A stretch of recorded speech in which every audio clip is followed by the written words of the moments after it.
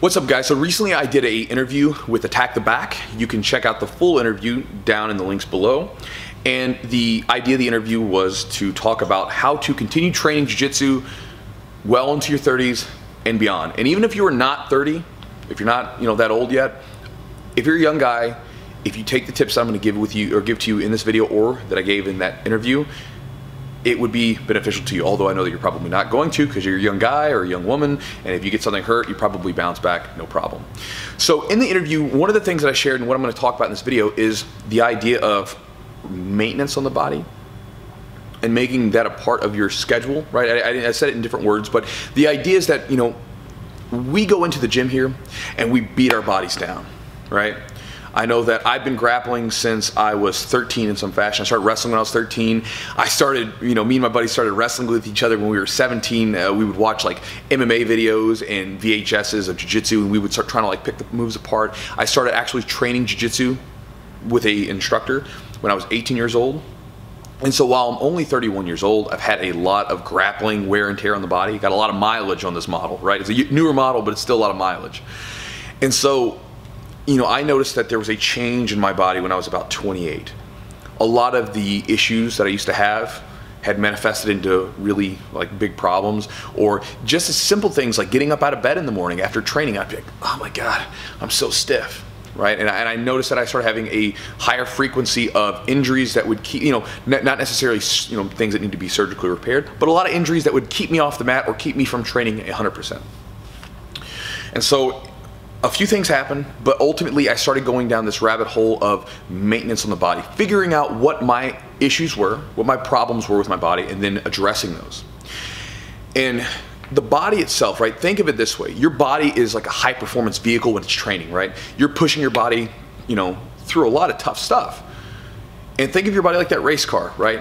If, if, a, if you, you had a, a race car going and it blew, blew a tire, had a flat are you to keep going? Of course you're not. You're going to take that car, pull it over, get the tire repaired. If the engine's making weird noises, it's not running right, what are you going to do? You're going to take it to, you know, to the mechanics here on the side, see what's going on. And just like the body, you need to do proper maintenance. A lot of times your body's telling you things, right? Like, so if something starts to hurt, it's saying, hey man, I'm hurting over here. You need to figure out what that is, right? For instance, in my back, right? I, one problem that I used to have a ton of was my back would get, I, my muscles would seize up, like, lock up, and it would literally be I would be hunched over because it would hurt to straighten out. And what was happening was, and I was having a lot of shoulder issues with the, along with this. And so what was happening was my front muscles here were so pulled forward that I'm walking around like this like rounded posture all the time, and it was creating a lot of problems back there. So therefore I adjusted my workouts, right? I did more pulling motions and pushing motions to sort of pull my body back. Along with that, I do a lot of stretching here in the front to keep this open. And it's something that I have to continuously do. It's not something that once it's not hurting anymore, I let go of. Two to three times a week, I do a lot of corrective, uh, corrective exercising, stretching. You know, I do something, right? Not just when it hurts. And this is the idea. It, most, of the, most of us that do jiu-jitsu, we do weightlifting, we do all this stuff. We, it's fun, right? You, you, get in there and just grind it down and go after it with your buddies. It feels fun. It's amazing. It's a great experience. And then doing things like some stretching or corrective exercising, doing that kind of stuff. I'm like, eh, I don't want to do that, right? It's like the different, like jiu-jitsu's dessert corrective exercising, all that stuff, that's like broccoli. You know, you want cake you want broccoli, you're probably gonna want the cake. So with that said, make sure that, and this is my tip to you, if you're getting to a point where maybe you're starting to feel your body a little bit more, even if you're younger, if you can start this young, even better. One, when your body says rest, and you'll know when it says rest, when you're hurting, when you're feeling stiff, whatever, it's okay, right? I, you're gonna have that. I, I want to go. I want to go. I, I don't want to like lose progress, whatever. You know, like a lot of times that's the thing. We feel like no pain, no gain. If we're hurting, we got to keep going. We got to keep moving forward.